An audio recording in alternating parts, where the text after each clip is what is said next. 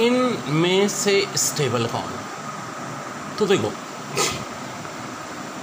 Positive positive से नेस वाले carbon में डबल बॉन्ड है। देखो ना, ये बेंजीन का एक्स्ट्रा नहीं है जस्ट आएगा टॉलिन टाइप का स्ट्रक्चर है।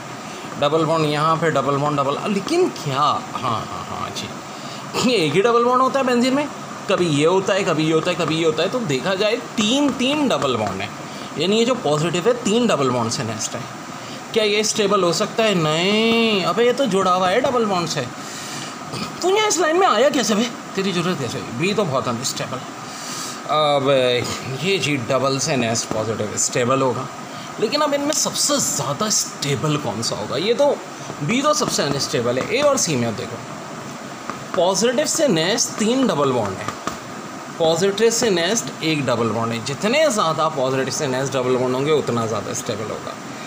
इनके अंदर ए फिर सी फिर बी आओ एक और देखते हैं ऐसे ए बी सी ये तो बिल्कुल जी बहुत बहुत स्टेबल है। क्योंकि पॉजिटिव है, उससे नेक्स्ट तीन कार्बन वही तकरीबन बात है जो पहले थी। तो बहुत ही अनस्टेबल है मेरे भाई। डबल बॉन्ड पे पॉजिटिव आ गया नहीं। यहाँ ये देखो, एक डबल बॉन्ड है पॉजिटिव से नेक्स्ट सबसे ज़्यादा स्टेबल ये, फिर ये और ये सबसे ज़्यादा अनस्टेबल ऐसे एम सी क्यूज़ आती हैं जो ऐसे।